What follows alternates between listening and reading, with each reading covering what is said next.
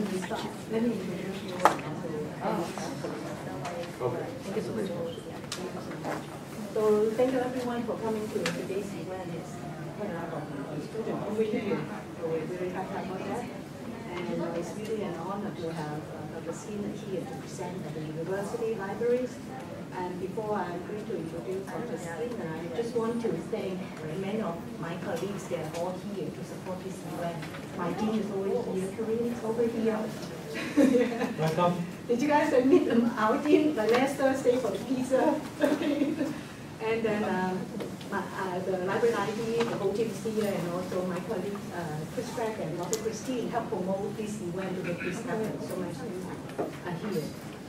And all right, um, Dr. Steven Skiena is a distinguished teaching professor of computer science and director of Institute for AI driven discovery and innovation at Stony Brook University.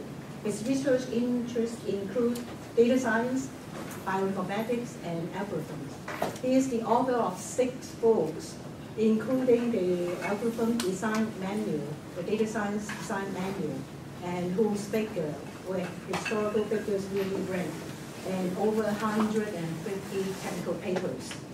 So Dr. Skiena received a BS in computer science from the University of Virginia and his PhD in computer science from the University of Illinois in 1988. He is a fellow of the American Association of the Advancement of Science, a current and former Fulbright scholar and recipient of University of Virginia Engineering Distinguished Alumni Award. Um, the ONR Young Investor uh, in- in- Investigator Award and the IEEE Computer Science and Engineering Teaching Award. And there's more information. You also have a LibGuide, you search for STEM, um, then there's a LibGuide, there's more information over here too. Okay, so let's welcome, uh, Thank you very much. Can you hear me in the back? Okay. Um, first, nice to see you. Um, I gather most of you are undergrads. Let me just through this test one more time. Who here is an undergraduate? Okay, now hands down. And who here, if you're an undergrad, is in a, uh, I'm going to separate the world into a STEM world, science and technology, and a humanities and history and things like that. Who here is a STEM person? Okay, who here is a humanities person? Okay, fair enough. Okay, this is fine, um, but uh, we will go. Okay, so I, who am I? I am um, a professor here in computer science. Um, one of the things that I'm interested in is data, you know, uh, is analyzing large, large and interesting data sets. And I like working with social scientists. Okay, here you have a picture of me with a uh, professor who used to be here in sociology. Today we'll talk about uh, some projects that uh, I'm working on with a different professor who's currently in the sociology department, Jason Jones. Um, but I like looking at um, data analysis techniques for the social sciences. And, um, oh, and one other point, if this, this will go wildly better if there are questions and interaction during, during, during this. So if there's anything you want to talk about during our talk, please raise your hand, let's talk about it. Okay, what I want to talk about here is a data source that is, um, you know, that, that Jason Jones in sociology kind of realized was kind of an exciting thing to play with. And uh, it's kind of an interesting question. Um, a lot of things in the world to understand people, people have identities. An identity, as far as I am concerned, again, I'm a computer scientist, not a social scientist. But it's about what is important, what do you see as important kind of to you about yourself, okay? And um, one kind of unique and new data source on um, measuring identity and how people think about themselves are social media biographies. Um, how many people here, I assume, every, how many people are on Instagram or Facebook? I assume you've got, you know, almost everybody. And how many people here are on Twitter? Relatively few, but some of you. But when you have a, go register on a social media system, I guess you can't see my pointer here, um, you, you often specify you, a short description of yourself. Here, Obama described himself as dad, husband, president, citizen. That tells you something about how Obama thinks about himself, or perhaps how he wants to present himself to other people. His family is important, his job is important, his country is important. And what's interesting is when, when you join on Instagram, how many of you have an Instagram account where you have a specification of who you are like that? Does anybody? A few people will confess to that, okay? Now on Twitter, we're going to talk about Twitter here. What made Twitter great is that these profiles were kind of public to the world, and so we can get them as data. But somehow, with these biographies, you're in, encouraged to describe yourself in 160 characters. Okay? And different celebrities, or different people will describe themselves as, uh, you know, different things. You know, Kamala Harris talks, gives her pronouns. She talks about that she, her family relationships. Okay? Um, you know, uh, Danny DeVito here is describing himself in terms of his jobs. Okay? Um, here's uh, someone who's uh, an act actress who's describing herself in terms of being a, uh, a mother and uh, her experiences with this. Different people have different identities at different times. And what makes the, this data set of thinking about biographies interesting is this gives us a way to look at hundreds of millions of people and see how do they think about themselves. Okay, here are two people who are two of your favorite Stony Brook personalities, um, our president and our provost. Okay, um, the president says what? She's a president, she's an art historian, she's a photographer, and she listens, lists her pronouns.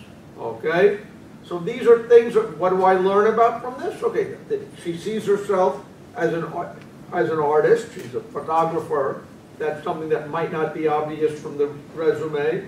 The pronouns are important to her. When I look at our provost, what is interesting about our provost? Okay, I see that he's, I know he was a researcher on, a, you know, on addiction. I knew he had a hard to pronounce last name. Um, I know he likes to call himself Carl. I like people to call him that, at least, you know. But I found it interesting. He's a first generation college student. The fact that his parents did not go to college clearly is a part of his personal identity. That may be true for many, some of you. That may or may not be a big part of how you see yourself or not, but that's one thing you get by looking at this. So by looking at all different bios of people, you can get a sense of who do they think they are. So who do I think I am? Well, um, I didn't bother to write my bio. So uh, you have the option of not writing your bio. And so a lot of people don't specify much about themselves, okay? But a lot of people do. And so what am I going to talk about in this, in this talk, okay, to the extent that people want to hear? I'm going to start talking about this idea of how do you measure um, self-identity who people are, think they are or want to present themselves as what they are, okay, by analyzing a big data set. Um, I'm going to try to talk probably briefly now uh, about uh, a big study that we, a bigger study that we've done on this. How do people think about jobs and what they present in their identity? And I'm going to kind of conclude with some examples of, uh, you know, kind of some more recent analysis we've done where we break these pools into um, pools by where people are, you know, are from and give interesting insights from that. Okay, any questions so far? Okay, good. So how would psychologists, sociologists, social scientists study identity? Okay? One reasonable technique that people have used is they would do surveys. They will ask a bunch of people, they'll pass out a survey in a, in a big introductory class, write 20 statements about who you are, okay? And you can imagine, you know, what's important to you about, about you, okay? Uh, and, you know, from historically, by, by looking at this, this is the kind of data that people use, psychologists have traditionally built or worked from to study identity. Now, what's bad about that? I mean, what's good about it is you can collect it, you can read it, people have done things with it. What's bad about that kind of data is that, um, you know, there's a limit to how many surveys you can give out. If you're giving them out, you know, you, you, you can give them out to tens of people, hundreds of people, maybe thousands of people, but you can't give them out to millions of people. Um, you can't, um, what you call it, measure people over time very easily. One of the interesting things about identity is it changes. How you feel about what's important about yourself now is, I can make a good prediction, not what you're gonna is feel is important about you 10 years from now, okay? How do identities change over time? You can't do that very easily with surveys, because first of all, you, you know, you have to find the same people and ask them over and over again. But Twitter, if you look at the Twitter thing, we can get millions of, of point data points uh, per day on millions of people. How do they have they has their reported identity changed today? And that's what makes kind of this data set exciting. Okay, any questions about that? Now, what kind of changes would you expect to see? Now, we, uh, you know, you might expect some things are simple updates. If you list your by your age and your role, here he was a student at 25. Maybe by 26 they're no longer a student and they're a job, and they change things like that. So you can start to see age progressions. You can start to see career progressions captured in this kind of data. Okay? You can see other kinds of progressions. Okay, one thing that, that Jason found, my, my collaborator, Jason Jones, that was very interesting was looking at what fraction of biography strings on Twitter described Jesus versus Trump, okay, over time. You know, Jesus is has been relatively steady, although decreasing over time, something like, to read the account here, it was something like, let's say, 70 60 or so accounts out of every 10,000 accounts mention Jesus uh, as part of their description. Okay? Now Trump, starting from when we, he started collecting data here in 2015, shot up by the time of the election. The last election, he was arguably bigger than Jesus as far as identity goes. Okay? This is a surprise. Politics is part of people's identity. If you have to describe yourself in 160 characters, do you describe your political identity, your social identity? Do you do, different people will have different ways of thinking about themselves, and they reflect it in these bios, okay? So what is it that we have done, okay? We have collected Twitter biographies for now over, well over 10 years. Um, some of that was collected directly for this project. Jason had the foresight to collect uh, all the tweets starting around 2015. Some of this is archaeology in older data, finding older data sets of tweets. One thing that was interesting is that when you when you got a tweet a tweet using the standard um, interface or way of collecting data from Twitter, it gave you every tweet or 1% of all tweets. And for every person, who, every tweet, it also gave you the biography of that person. Okay? Among some other data. How many followers did they have? Stuff like this. Now, researchers for a long time were very interested in analyzing the contents of tweets and saying, what do your tweets say about you? Jason had the insight that what does your biography say about you is also interesting, and suddenly you have this. So we have like 1% of all the, the bios associated with 1% of all the tweets, okay, for many years. Um, I say provide ed. Unfortunately, with recent changes of Twitter, this service has been turned off. So our data is not being collected now in the same way and volume as before, which is sad but we still have enough to say interesting things about the past. So we would get see roughly people's biography roughly one out of every hundred times they tweeted.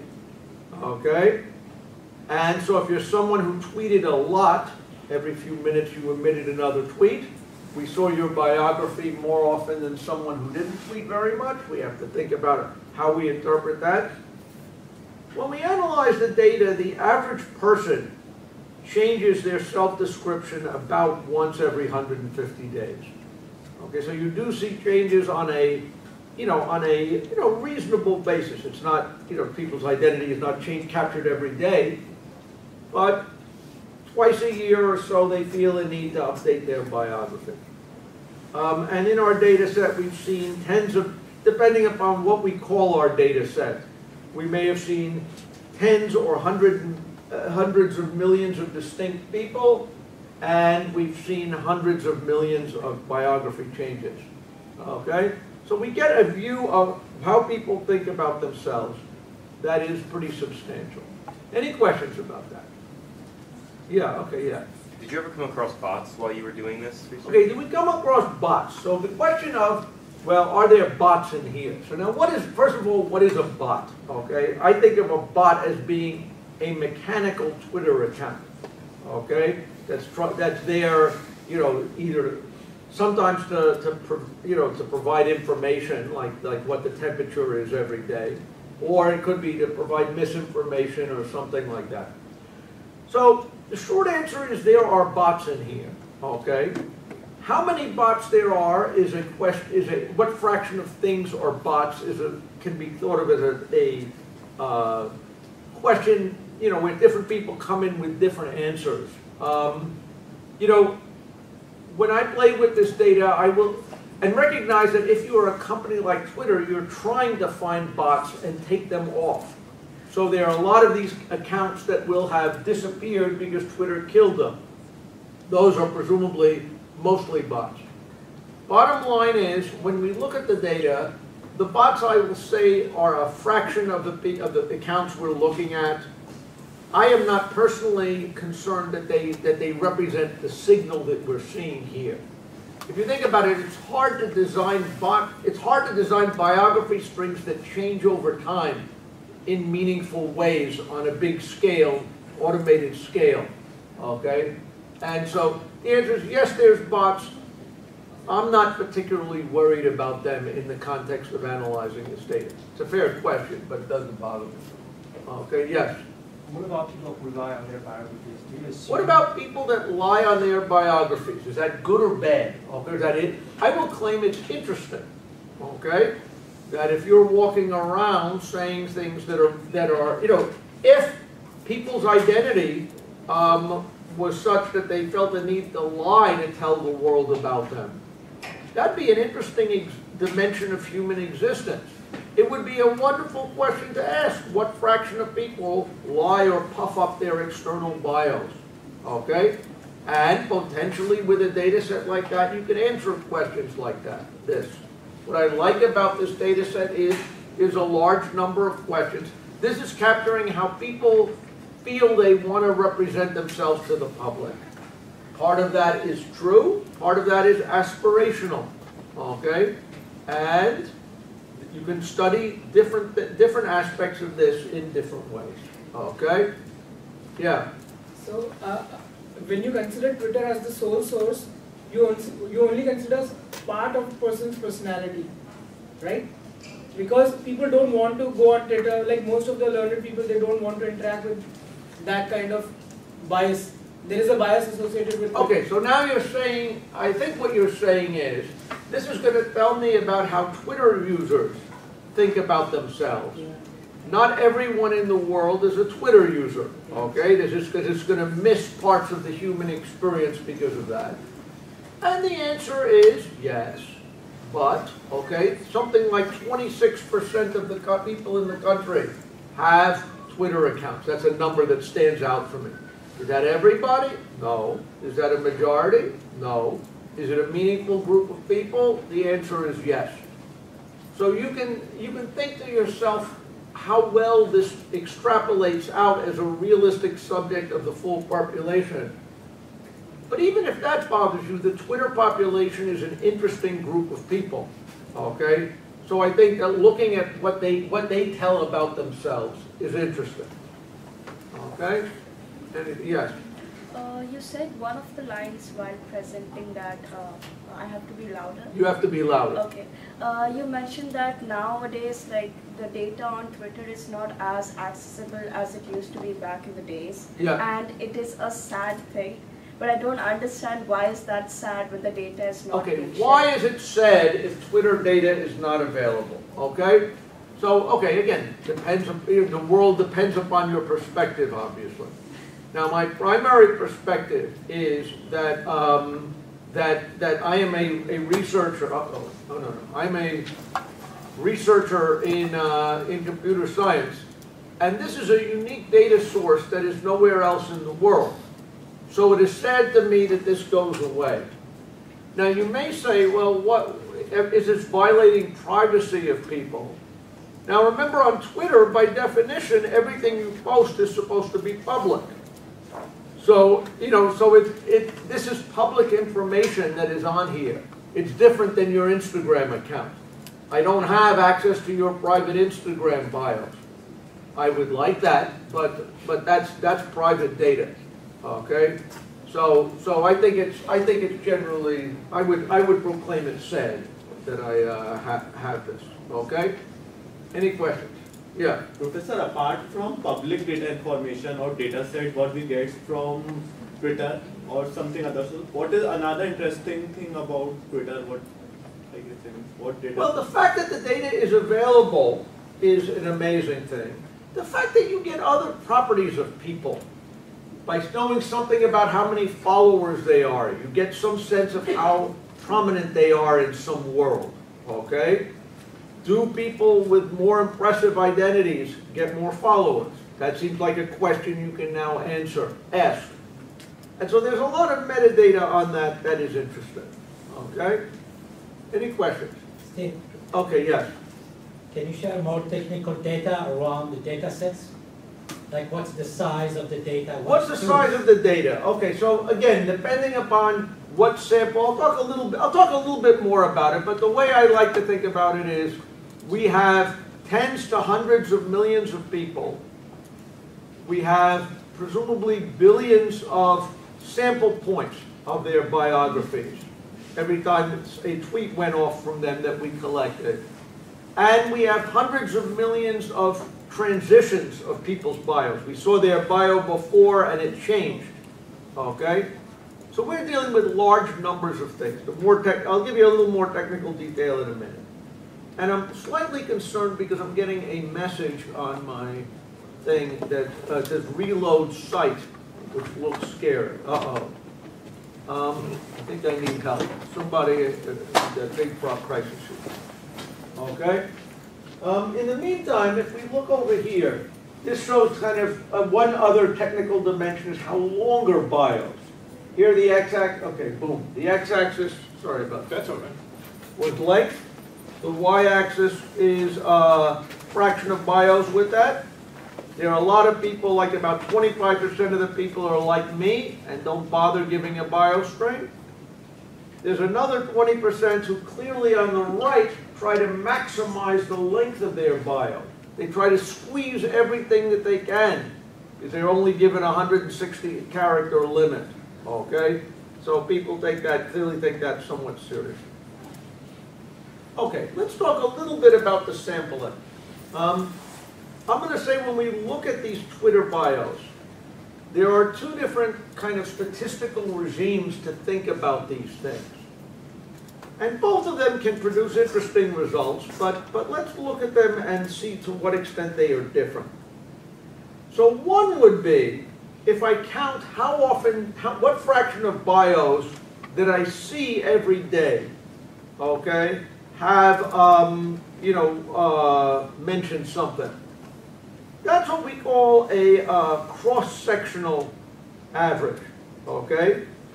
This means that if somebody tweets a lot, I'm going to count them more often, okay?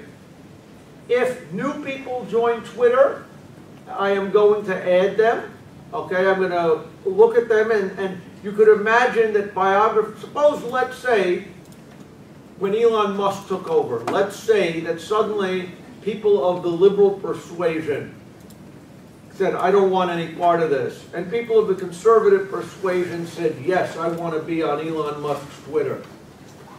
Now the population would shift, and you would be seeing changes in biographies that would reflect shifting populations. That might be interesting at some times. Although, the other kind of sample that we're interested in is the longitudinal sample. What if we restrict our attention to people who we see over a, at least once a year over a five-year period? What if we keep track of just these people, so the same people are tweeting every year, okay? Maybe now when we see changes, they're gonna be reflect changes in the way people see themselves, rather than population level uh, differences.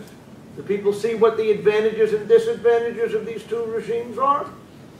One would capture the changing population on Twitter. One kind of looks at a smaller number of people who we see often. So we see how these people behave. We've got a big enough sample that we can do both kinds of analyses. Any questions about that? Okay. And uh, the longitudinal stuff is kind of interesting. Okay. How do we look at these things? Generally, we're going to take the biography and break it into words and count how often the words are, occur. So when we look at identity, identity is going to be an individual word, okay, as opposed to token. We, sometimes we use symbols and stuff like that. That's different.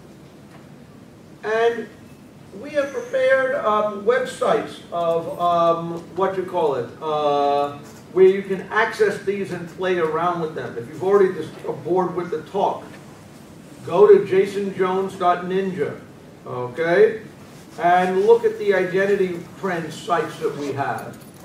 Okay, and you can play around and look at different terms and see how often um, you know they, they have changed over the years. Okay, that's giving you some insight into identity. Any questions about that? Okay, so that might be fun to play. But what kind of things can you learn when you analyze the identity on a larger scale? So suppose we take all the words and we identify some as having to do with sports. What words have to do with sports? Maybe the names of sports, baseball, football, soccer, okay? Maybe the names of teams, Mets, Yankees, okay? Um, what terms have to do with um, art? Maybe music, painter, photography, things like this. We can start to look at different categories of things and ask whether the prevalent, how the prevalence of different categories have, have changed over time. Okay? And it's kind of interesting. People used to list themselves as Yankee fans and Met fans more than they do now. Okay? That kind of sports team seemed to be a smaller part of people's identities with time. What's, what's a growing part of identities? Politics seems to be an area where it's growing. In the time we've been monitoring, it looks like politics has become a stronger part of how people think of themselves. Okay? And you can modify it. Religion has been fairly stable. Okay? But this is something, so this is some interesting way to monitor these kind of things. One thing we can look at is pronouns of usage. Okay, do people list their pronouns? He, him, she, these kind of things. Okay? And at the, you know, for a at the, you know, at the beginning of the period, a very small fraction of people listed themselves. Starting around 2018, you start seeing that these pronouns um, became more prominent than they used to be. Okay, this sort of became a popular thing for people to use when they're describing themselves. And as you can see, there was a, there's a difference between uh, the, the, the, the, female terms of she and her. More, they seem to be far more, you know, relatively more pre pre prevalent than he and him. You can sort of monitor a phenomenon like this on a statistical level. Any questions? Yes. How does the collection of these data help us? How does it help us? Okay, so now, there's questions of what help us means, okay? And let's start to think about it. So, if you are a social scientist, you want to understand how people and society are thinking and how it's changing. And so, giving data on what, how people are thinking of, you know, how people think about themselves and how that's, how this is changing is the kind of thing that academics like to study. Okay, identity is an important question. People's identities kind of are changing and what's comprising part of their identity. This feels to me to be an important um, level thing to kind of understand if you want to understand how society is working. Doesn't mean I can make a buck from it. Okay, so if that's what the, the, the, standard of it is, uh, I, I, I, you know, I may not fail. But these feel like important things for society to understand. How do societies similar, are, how are societies changing? How are they not changing? How do they compare in different cultures? Things like that.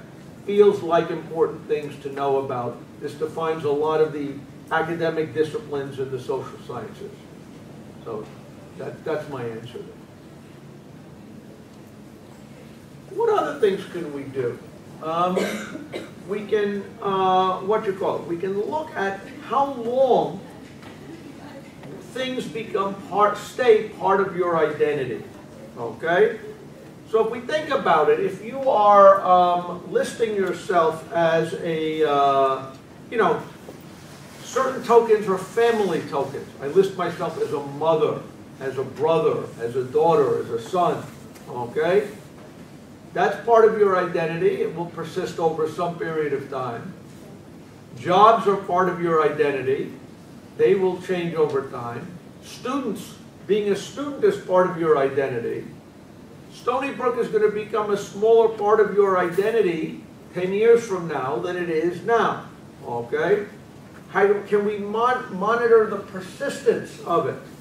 And by looking at how often terms that appear in biographies drop from their biography. We can learn to distinguish something about how often something became part of someone's identity. So what this plot is showing us is that a lot of people list in their biography, at least at certain points, things related to uh, cryptocurrencies.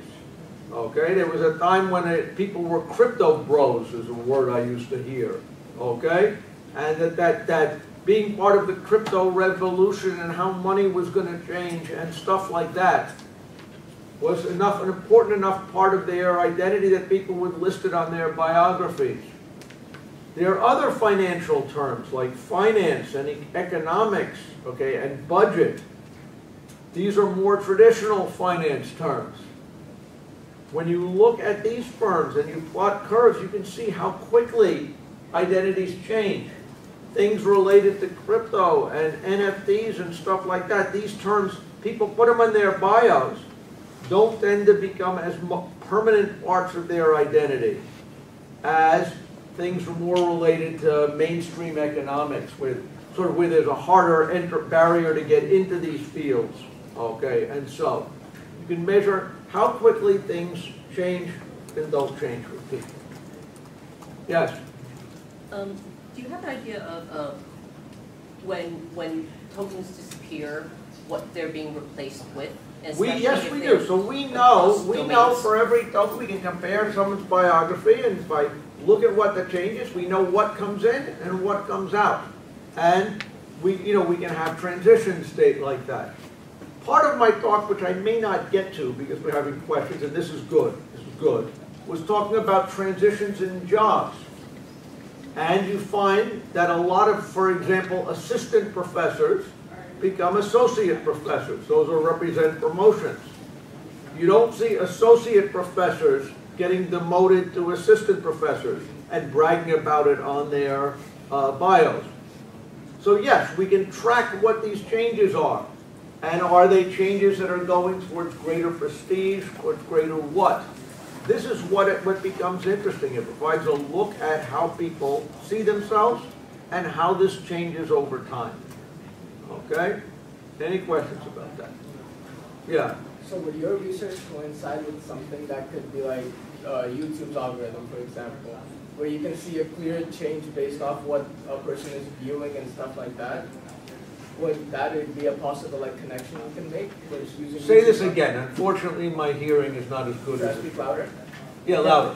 Okay, so YouTube's algorithm, right? It's kind of like a similar process where someone watches a video and then they watch a video, a video, a video, and then you have like a kind of like identity of this person, like Okay, so there's other ways to capture properties of people. Mm-hmm. And so certainly in YouTube, it watches your thing, it learns about you with the goal of recommending future videos and showing what ads will be good to show you. So yes, they build these models.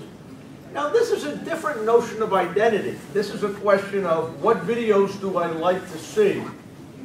more than a question of how do I internally see myself, right? You could imagine a world where someone sees themselves as a religious, upright figure, and then on YouTube they're watching nothing but porn. Okay, that would be bad. Okay, but they, but so so that so it, that those data sets show something, but it's a different thing than what I'm trying to capture here.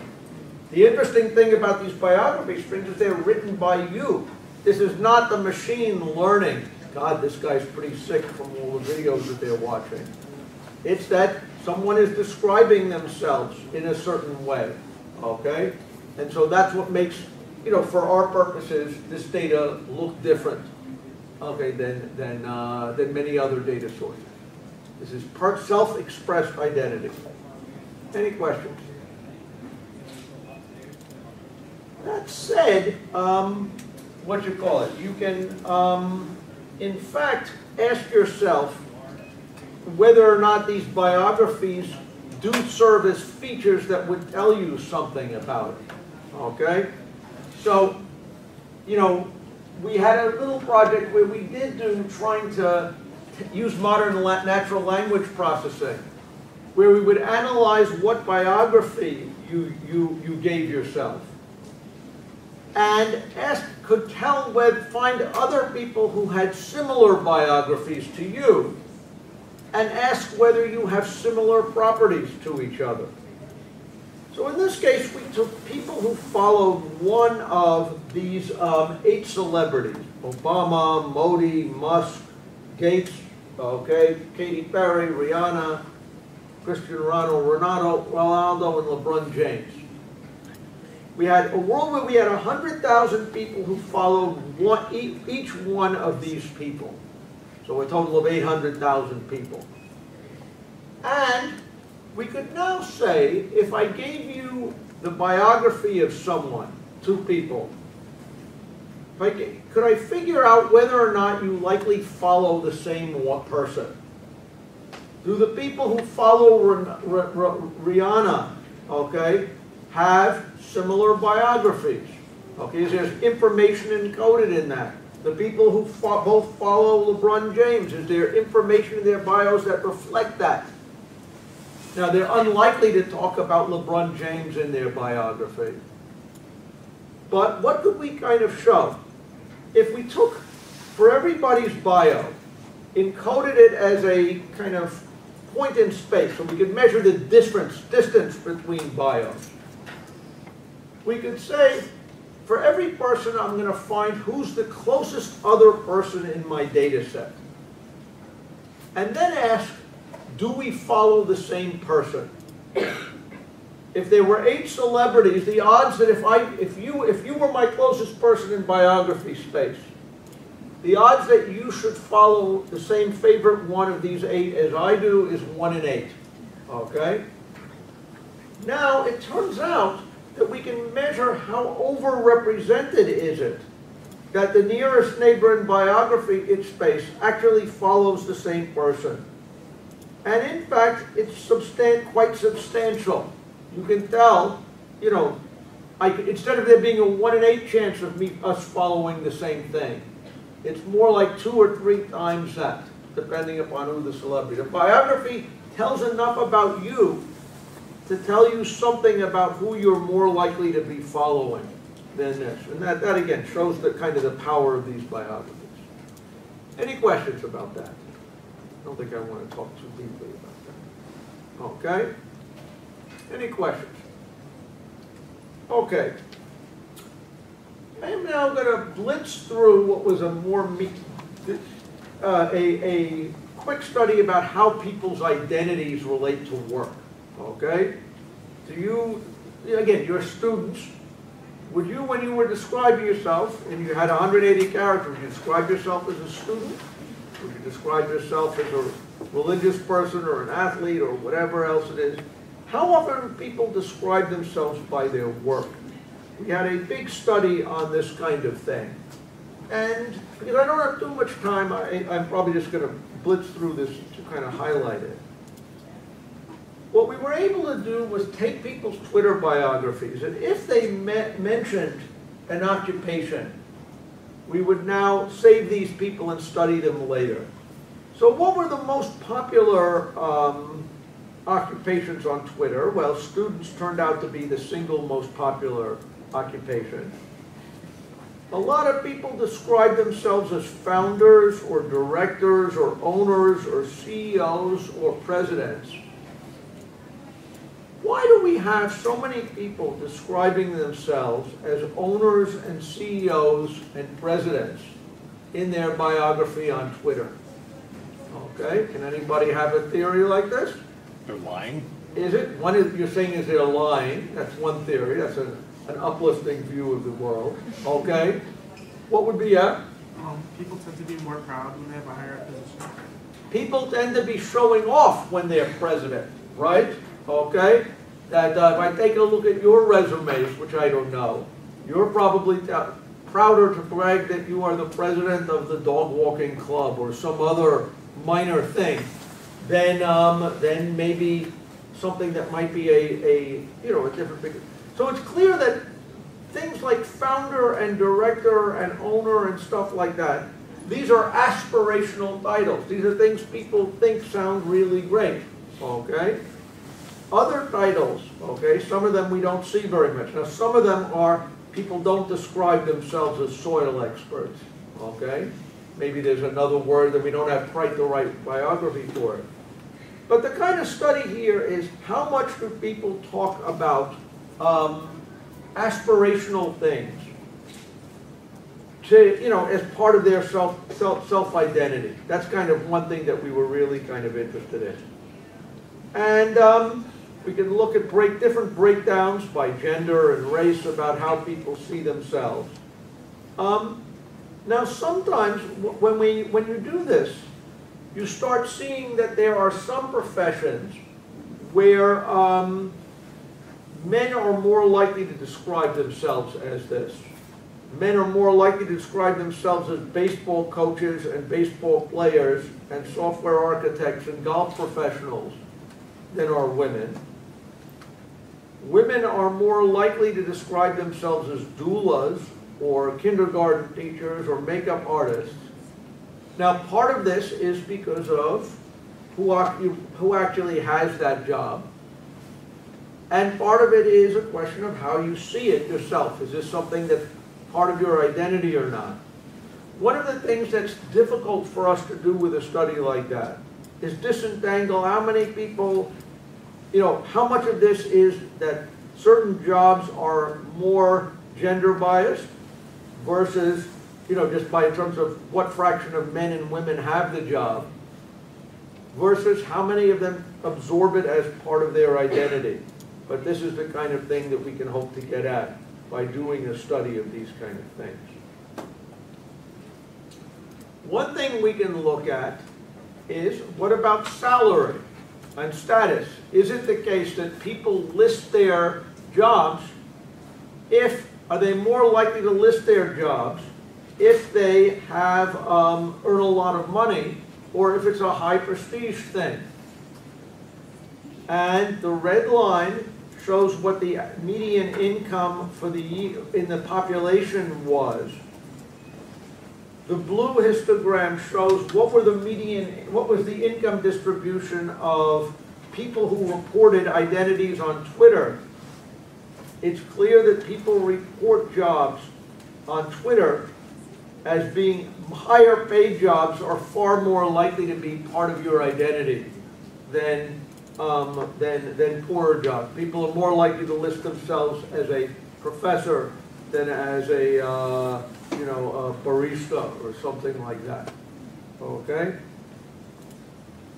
But there are also statistical measures of prestige. There are jobs that are considered high prestige jobs that are relatively low paid. What's an example of a high prestige job that is relatively low paid? Okay, people tend to look up to ministers, okay?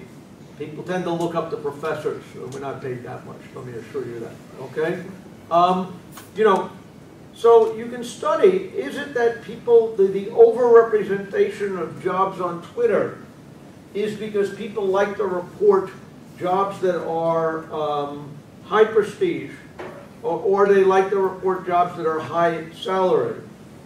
And basically, we could show that people were more likely to overrepresent high prestige jobs than high salary jobs. Prestige is something people have measured, measured. They have done surveys on jobs and say, how prestigious is it to be, uh, be a professor? How prestigious is it to be a clerk at a store? How prestigious is it to be a president of a company? And in general, um, the, the, the people are more, prestige seems to be the thing that people are driving. Um, there have been various questions. Can we track how people's um, identities change? And these things are kind of interesting in the job things. Okay? A lot of people go from co-founders to founders. Why do people go from co-founders of a company to a founder? Somehow they succeeded in pushing their partner out of it, I guess, and uh, they can now claim all the credit. Okay? Or uh, some people go from CEOs to founders. If they had a job and they were pushed out, maybe they were still founders of the company.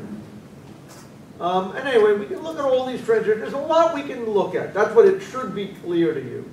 That from looking at these big data sources, we can monitor how people see themselves here as in industry, in terms of their job, and how that changes. Any questions? Okay. Yeah, I have. Yeah. What was the most surprising things in the data set? The most surprising thing to me was, um, you know, to a certain extent, that prestige of a position was more important than salary, okay, in terms of how likely you are to, that, that there are ideas of what people think of as good jobs and bad jobs, that is internalized in their identity, that is independent of things like money and salary and things like that. Okay, so that's one example. Okay, the last topic I want to talk about here, which maybe I think people might find interesting, is when we try to do analysis of different countries and regions. I told you we have hundreds of millions of, of biographies. We can, when you specify on Twitter your biography string, you can also specify where you are, what your location is. Some people put snotty things like the moon down as their location. Most people list, uh, don't put anything. But there's still something like 10 or 15% of the people who will tell you where they are from. And when you've got 10 or 15% of hundreds of millions of people, you've got a lot of people. So we can start to look at, for certain countries, how do they feel about things? We, you know, we were able to basically break down things where we had something like 32 countries where we have enough hundreds of thousands of people that we were able to locate that we felt we would get a good signal about it. And we can now ask, how do people's identities differ in Russia than in the United States, in India than in, in France, things like this. These become perfectly valid things. And we've also been able to do it for different states. So what kind of things can you learn once you break people down by countries? Now, one challenge in analyzing tweets from people in different countries, one problem with Italians, I spent a year, the last year on sabbatical in, in Italy. One problem with Italians is that they speak Italian. They don't speak English, right? And so if I'm going to try to analyze their tweets, okay, they have to worry about language differences, okay? One way to look at things that kind of absorb, gets, sort of overcomes a lot of the language barrier, though, are emojis. You people, I can tell, grew up in an emoji world, okay? Some of you are perfectly happy to slap emojis on, on texts and on uh, and biographies. Emojis give symbols that are in some sense language independent. Okay, and, and looking at how different countries use language emojis becomes a kind of an interesting question to study. Here we can see, if you look at different countries, here we have a plot. Every point here represents a country. And the x-axis is the proportion of the biographies that use emojis. Okay? In general, the countries that use the most emojis have the lowest, lower per capita income. Why might that be? I'm kind of imagining that these countries, in general, maybe there is, you know, less expo, you know, less comfort or exposure to using English quite often in the population. Maybe that's, and you know, and so it becomes easier to use emojis or other things. Bottom line is we can study statistics, things like this, in a cross-cultural way using our cohorts. Okay? Any questions? So what about flags? I don't know if anybody here has ever used, has anybody here ever used the flag emoji? No, a couple people twitching. Now what, what flag emoji do people use in different countries? Okay? If we've done a good job of geolocating people, I would guess that the most common flag in every country, from people tweeted from people from Russia, what should be the most common flag from people from Russia who tweet? I would think Russian, okay? I would think in India it should be the Indian flag, all these kinds of things. Sure enough, for every country, this is showing the x-axis is showing our cohorts for every country. The dark blue represents what's the fraction of all flag emojis that represent that country's flag. And sure enough, in every country, the most commonly used emoji is from that flag. So we, our geolocation means something here. Okay, that's the first thing I want to show you. You can start to answer why is it that some countries, India and Pakistan don't fool around. They all seem to both have, basically, almost all the flags that they mentioned are those countries to a higher degree than the other, other nations. Which countries, there are different emojis for sports. Which is the most important sports emoji in every country? And if you follow the world, in most countries, soccer is the most important sport. And sure enough, you start seeing that in all countries that, that red thing at the bottom represents the biggest one, which is soccer. Which countries don't have soccer as its biggest emoji? The United States, Canada, India and Pakistan. What is the biggest sport in India and Pakistan? Cricket, okay. So again, it's clear that we're able to do something here. We're capturing something about these countries from which we have this breakdown. You can start to look at LGBTQ, uh, you know, flag emojis. Different countries will use this with different prevalence, okay? Which countries use it a lot, which countries don't in their bios. And here we have on the x-axis is a measure of the freedom, degree of freedom in the country, as measured by something called Freedom House. What is the percentage of biographies that use these flags as a function of how free the country is? It's clear that in the less free countries on the left, there is less usage of these flags than on the right. We're able to capture certain properties of countries from these kinds of things. Okay? We can do similar breakdowns by, by, by states in the United States. Okay? So if you look over here on the left, you could look at how many, what fraction of biographies mention God among states in the United States. Okay? And you can plot the degree of over and under representation.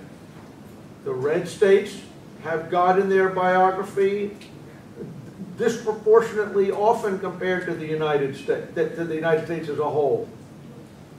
Dark red meant twice as often. Blue meant that they mentioned it a lot less. New York is a relatively godless state, is one thing you can see from this. And again, this captures certain trends and certain things about properties or how people see themselves in different parts of the country. Any questions about that? I think that's probably where I'm going to stop with this.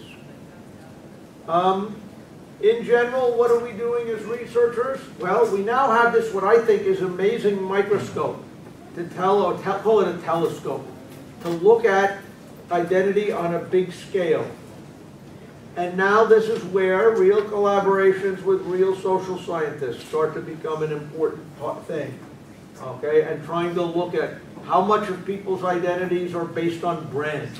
Okay, how, who here sees themselves as an Apple person? Yeah, some people see themselves, that's part of your, that's not just what you're, if I ask you, how, who here sees themselves as a Crest toothpaste person? No one sees themselves on the basis of their toothpaste. But people do somehow, certain brands people are associated with. How much is, you know, education part of people's identity? Are you proud to list where you came from? Are you proud to list, hey, look at me, I got a doctoral degree, okay? There are issues here about identity that feel like big things that we are looking for, you know, social scientists that where we can collaborate on these kind of issues. And to, conclude, and then I promise I'll be quiet, again, I, like, I'd like to thank my collaborators. Foremost is Jason Jones, a professor in the, soci in the, in the sociology department who uh, kind of pioneered this work. And I have a couple of my graduate students. Um, uh, Dakota happens to be in the front row. Um, but with that, I'm going to end and say thank you very much, and I'll take any questions that you want to go.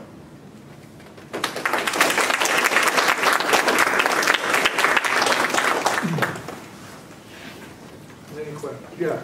I'm wondering if you have made any attempts or plan to make any attempts to analyze irony or tone or non-literal layers? Okay, so some, that's a good question. So I'm now breaking everything down into individual tokens. Now, if you say, um, but, but people do say, try to say funny things on Twitter. Okay, people do try to say things that are ironic that may even invert the meaning of the word that you're seeing. And this is a hard thing to computationally do accurately, okay? So the answer is, are we, you know, are we, are we doing it now? Certainly not, okay?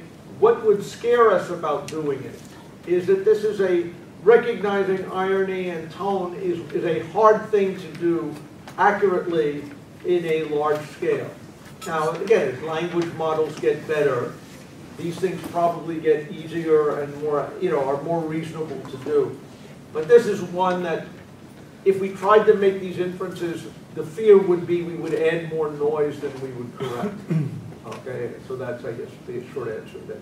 Yeah. A more practical question I have is, whatever data that you have collected, have you like stored it in the raw form, or have you already like com Okay, so the question is, what's happened to our data? We have safely stored our original data, and so we can, when we have good ideas, go back and look at these things again. Um, that said, a lot of what is important here is that the Twitter data for 10 years is huge, huge, huge. You usually don't want to work on it. Much better is building computational artifacts that summarize this data so it can be easily viewed. I showed you about those websites on that Jason Jones links to. Those are working from summary data. And so actually the summary tables, carefully built, are actually very in many ways, more useful resources than the original data that we had. Okay, yeah. Since the demographic of social media tends to be younger, is the underrepresentation of elderly people seen in the data? Okay, so the question is about, is representation of people here, you know, first of all, are- are age cohorts equally represented? The answer is no. The claim is that younger people are more prevalent on social media. That's probably generally true. That means that's probably not completely true on Twitter compared to other platforms. Do I believe that on TikTok and, and, uh, and Instagram, you guys are the more active generation? Yes. Less clear that's true on Twitter. This is one of the reasons, it, it turns out to be hard to infer people's age from their Twitter profile. Not, not impossible, but hard, okay? And so we haven't really broken down people by age. But when we do do these longitudinal studies, if we're looking at someone um, who has tweeted at least once a year, we have a bio at least once a year for five straight years, we do know that at the end of the period, they're five years older than they were at the beginning. So that does give us some reliable insight into certain age questions, but we don't have as complete demographic information here as one might like. Okay? Anything else? Okay, if not, then I, I, I, I thank you and good luck and, uh, I'll, I'll see you guys around. Okay.